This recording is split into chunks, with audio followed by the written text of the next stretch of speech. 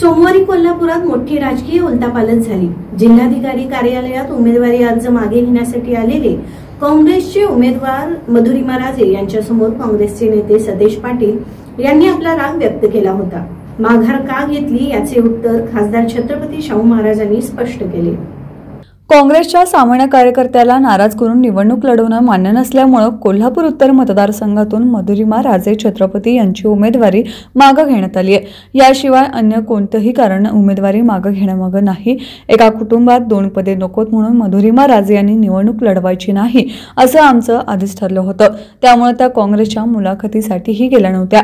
परंतु राजेश लाटकर यांना उमेदवारी जाहीर झाल्यानंतर विरोध होऊ लागल्यावर एका विशिष्ट परिस्थितीत अनेकांच्या आग्रहास्तव काँग्रेस पक्षाची गरज म्हणून त्यांनी उमेदवारी स्वीकारली होती. लाटकर यांनी उमेदवारी मागं घेतली तरच लढायचं असं आमचं ठरलं होतं.